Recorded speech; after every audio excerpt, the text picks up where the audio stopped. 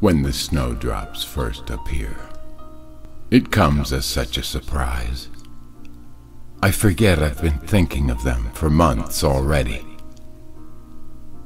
Likewise, the returning light in my stairwell this morning, seen rising upwards and out, though the sky's still low and dark.